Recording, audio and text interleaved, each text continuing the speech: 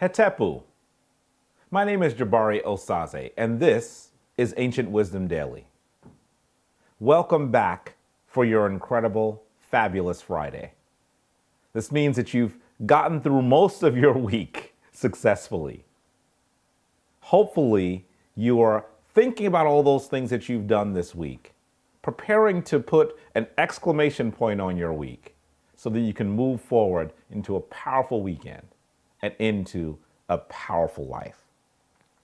Today, we're coming to you with some wisdom that comes off of the tekken of Hatshepsut. Some of you are saying, What is a tekken? You've probably, you're probably more familiar with the term obelisk. Obelisk is, is actually a Greek term. So we're going to use the ancient Kemetic, the ancient Egyptian term, the, the more appropriate term, tekken. And there are some of you who are not familiar with the name Hatshepsut. Hatshepsut is actually one of the most powerful queens who ruled Kemet on her own, on her own right. Some would say even as a king during one of the most powerful periods that Kemet actually ever saw. I want us to really understand that ancient wisdom does not come simply to men.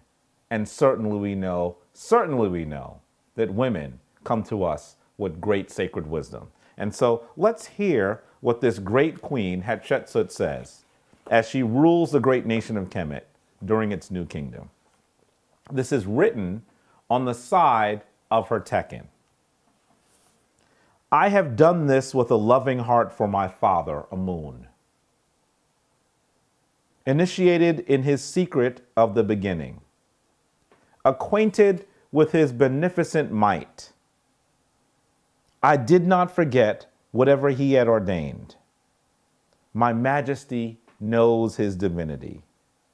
I acted under his command. It was he who led me. I did not plan a work without his doing. It was he who gave directions. I did not sleep because of his temple. I did not stray from what he commanded.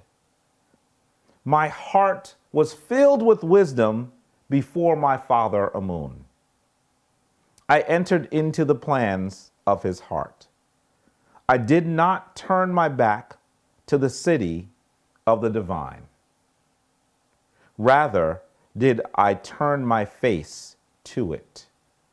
I know that Ipet Isut today most likely known as the Temple of Karnak, is the light land on the earth.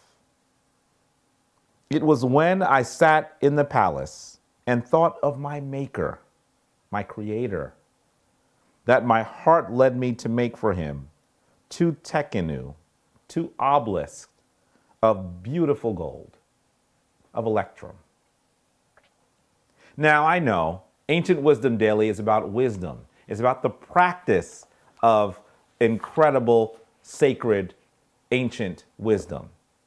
This is not a history class. Now, there, you may know that I'm a historian priest, so that I actually do teach history classes, classes on the history of Kemet. But that's not what this is meant for. I don't want to go into a, a lengthy description of the reign of Hatshepsut.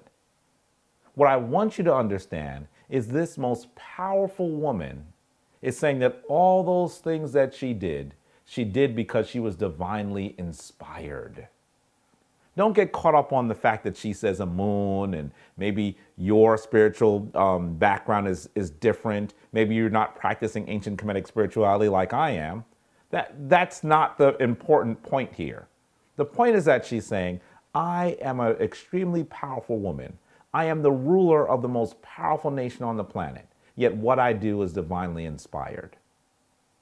There's another important point here that we should not forget.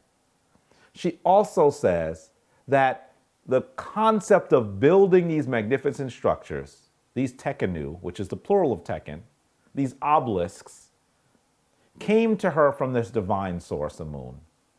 And she was unable to sleep because she was filled with the knowledge of its creation. How many things are keeping you awake at night?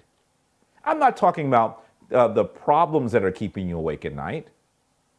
I'm talking about those things that you have been inspired to do, those things that call to you in the deepest recesses of your dreams, those things that are saying, Wake up. It is your task on this planet to complete me. Does this happen to you?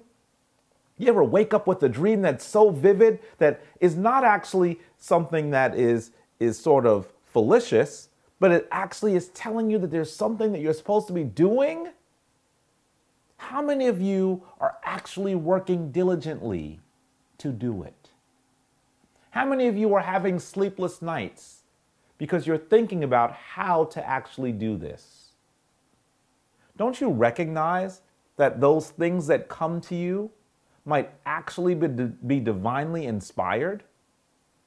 There's actually something that you were brought to this plane to do. There is something that you have been divinely ordained to bring forth for the rest of humanity. Are you doing it? Are you looking to, to actually set the plans for these things? Are you looking to, to figure out what or how you'll be able to do these things? I hope that when you receive your divine inspiration, you are not simply chalking it up to something that you are not prepared to do. You don't have the money to do. You don't have the education to do. You don't have the wisdom to do. You don't have the team of people around you to actually do it. You don't have the materials to do it. Don't let that stop you from doing those things that you were divinely ordained to do. As you come here at the end of your week, ask yourself over these five days, how much time have I allotted to those things that I have been divinely ordained to do? Am I doing make work? Am I living someone else's dream that is antithetical to my dream? Ask yourself is this what I am actually supposed to be doing?